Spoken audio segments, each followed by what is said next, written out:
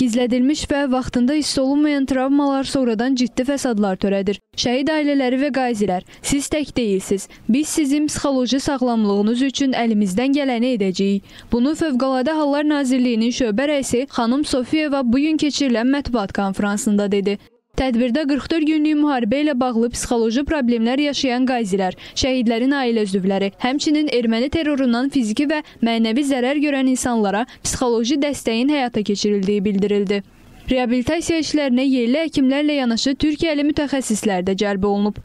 2021-ci ilin yanvarında artıq müharibədən çox qısa müddət keçdikdən sonra Vətən savaşının mənfi fəsadlarından, psixi baxımdan zərər görmüş vətəndaşlarımıza, yəni müharibə iştirakçıları, qazilərimiz, şəhid ailəsi üzvləri, terrordan həm fiziki, həm mənəvi zərər görmüş vətəndaşlarımıza yanında olmaq, onlara dəstək olmaq, onların psixoreabilitasiyasını daha səmərəli təşkil eləmək məqsədi ilə Fövqəladə Hallar Nazirliyi tərəfindən geniş miqyaslı layihəyə başlandı. Yürek döyüntüsü, nefes çatmaması, boğulma hissi, ağlama isteği, ellerde esme ve terleme gibi panik bozukluk ve anksiyete yani teşviş bozukluğunun da e, yaygın olduğunu e, gazilerimizde gördük.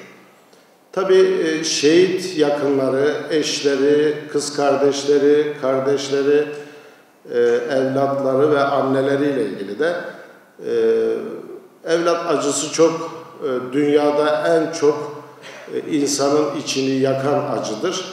O annelerimizle ve kardeşlerimizle de bu acıyı hem paylaştık hem de onlarla ilgili yaz terapisi e, yapmaya çalıştık.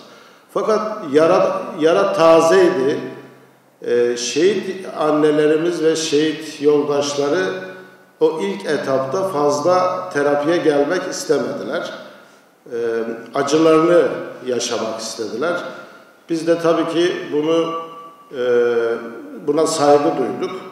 Dolayısıyla müracaat azalmıştı. Gelen e, gazilerin ve şehit yakınların müracaatı azalmıştı. Biraz ara verelim dedik. Aradan bir süre geçtikten sonra 6 ay sonra ya da 1 yıl sonra tekrar bu çalışmayı başlatalım dedik.